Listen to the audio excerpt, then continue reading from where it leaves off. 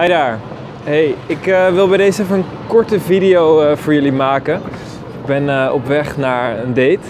nee, ik heb zo meteen met mijn vriendin afgesproken om, om even koffie thee te drinken. hier in Leiden. Dus voor die tijd wil ik je even één ding met je delen. Iets wat mij toch wel heel erg aan het hart gaat. Ik zat laatst een documentaire te kijken. De documentaire heet Fed Up.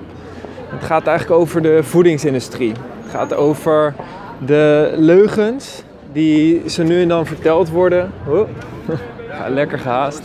Uh, het gaat over de leugens die ze nu en dan verteld worden aan ons als consumenten door grote bedrijven. Uh, zoals Coca-Cola, zoals McDonald's uh, en zoals allerlei andere bedrijven over wat je nou ja, wat je wel of niet zou moeten eten, maar eigenlijk voornamelijk over het niet delen van hoe verschrikkelijk slecht al die producten eigenlijk voor je zijn. Hoe schadelijk die producten eigenlijk voor je zijn. En hoeveel mensen er vandaag de dag wel niet allemaal met zwaar overgewicht te kampen hebben. Uh, en allerlei verschrikkelijke ziektes krijgen, soms al op jonge leeftijd soms letterlijk al eh, als kind. Door, doordat ze eigenlijk misleid worden in wat ze wel en niet moeten eten. Nou, ik kan het natuurlijk wel voorstellen, dat is een hele lastige kwestie. Want hè, voeding is niet iets waar een heel duidelijk antwoord op te geven is. Er zijn allerlei verschillende diëten. De een beweert dat je juist wel vlees moet eten, de ander beweert dat je juist helemaal geen vlees moet eten.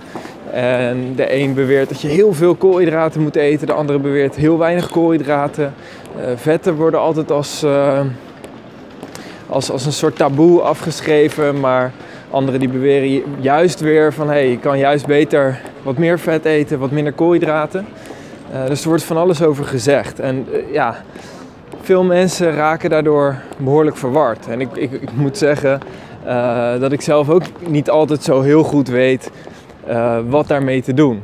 Maar er zijn wel een aantal richtlijnen waar ik me altijd aan hou, waarvan ik wel vrij zeker weet van hé, hey, met die richtlijnen zit je wel echt gebakken, zeg maar. Oh. Zeg maar, als je die richtlijnen volgt, dan kan je er in ieder geval behoorlijk van uitgaan dat je, dat je in ieder geval oké bent. Als het op eten aankomt, laten we het zo zeggen. En de belangrijkste richtlijn die ik eigenlijk volg als het op voeding aankomt, is zoveel mogelijk natuurlijke producten eten. Dat is natuurlijk logisch in zekere zin. En tegelijkertijd zijn er eigenlijk maar heel weinig mensen die dat consequent doen. Zeker die documentaire gaat dan over Amerika. Nou, daar is de situatie nog erger. In Nederland begint het ook steeds erger te worden. Uh, en ik hoop niet dat we als Nederland Amerika achterna gaan, waar iedereen straks met overgewicht te kampen heeft. Nou, die, die eerste richtlijn is dus gewoon zoveel mogelijk natuurlijke producten eten. Hè? Fruit, groentes. Uh, oh, woe, bijna aangereden. Um, en natuurlijk um, kan je dan voor jezelf bepalen of je daarbij uh, dan vlees eet of niet, of vis. Um, en producten zoals eieren, uh, zuivel is wel een beetje iets om voor op te passen, omdat er natuurlijk heel veel lactose in zit. Uh, kijk, daarmee heb je in ieder geval alvast wat meer richting.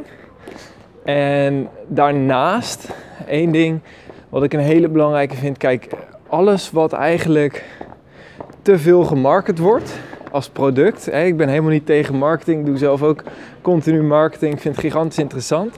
Alleen als voedingsmiddelen, voedingsproducten te veel gemarket worden, dan ben ik er toch altijd een beetje voorzichtig op. Want kijk, banaan wordt amper gemarket. Nou, er, er, was op een gegeven moment het bananenmerk Chiquita. Dat werd dan redelijk gemarket. Maar verder worden bananen en appels en mandarijnen en kiwis en citroenen die worden gewoon niet gemarket. Je zal niet zo snel een televisiereclame gaan zien over kiwis. Of over courgettes. Of over broccoli. Of over tomaten. Of over paprika's. Dat kom je gewoon niet zo snel tegen. Terwijl je hebt wel allerlei televisiereclames over nou, Red Bull. Ik zie net een blikje liggen hier op straat. Uh, over Coca-Cola. Over uh, allerlei andere vruchtensappen. Over Mars, Snickers, Twix. allemaal producten die op een synthetische manier, dus niet op een natuurlijke manier, maar gewoon in de fabriek zijn gemaakt. Nou, duidelijk dat die producten een stuk slechter voor je zijn dan producten die je vers en natuurlijk kunt kopen. En de volgende richtlijn is dat je zoveel mogelijk suiker wil vermijden. al die dingen die ik zojuist noemde, cola, sisi, Red Bull, al die stukken die zitten volgepropt met suiker. En suiker komt in allerlei verschillende vormen, soorten en maten komt het voor. In de documentaire Fed Up spraken ze over dat suiker onder wel meer dan 30 verschillende soort van schelnamen kan gaan. Ehm, waarbij mensen het idee hebben dat het geen suiker is, maar ze toch een bepaalde veranderde vorm van suiker binnenkrijgen. een, een, een goed voorbeeld daarvan is van die light producten. Coca-Cola Light of uh, Fanta Light of, of al, die andere uh, dingen die dan in een light versie gestopt worden. En dat wil zeggen dat er dan minder suiker in zit. Maar in plaats van suiker zit er dan een andere zoetstof in die eigenlijk ongeveer hetzelfde doet.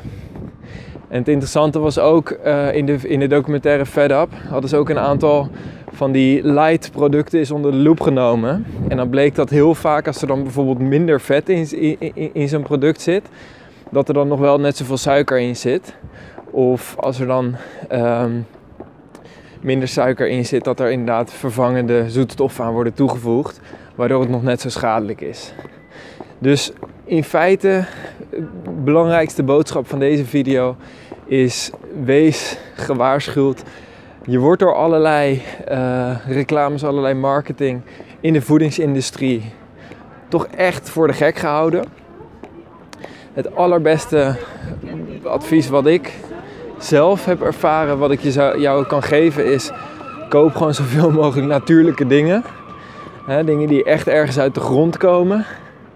Of uh, dingen die um, mensen zeg maar duizend jaar geleden ook gegeten zouden hebben. Dat hebben mensen in ieder geval allemaal overleefd. Uh, zonder al te veel overgewicht te krijgen en dergelijke. Dus dat is wat ik uh, in deze video kort met je wilde delen. Uh, bij deze, ik ben bijna op de plaats van bestemming aangekomen. Dus ik ga je voor vandaag gedag zeggen. Bij deze nog even kort als afsluiter. Zoals je waarschijnlijk wel weet, mijn online videotraining Razendsnel Resultaat staat op het punt om uitgebracht te worden. Een paar dagen, waarschijnlijk nog anderhalve week en dan uh, breng ik hem uit. Dus zorg ervoor dat je er op tijd bij bent. In razendsnel resultaat ga jij leren hoe je een verandering voor jezelf op psychologische wijze onvermijdelijk kan maken.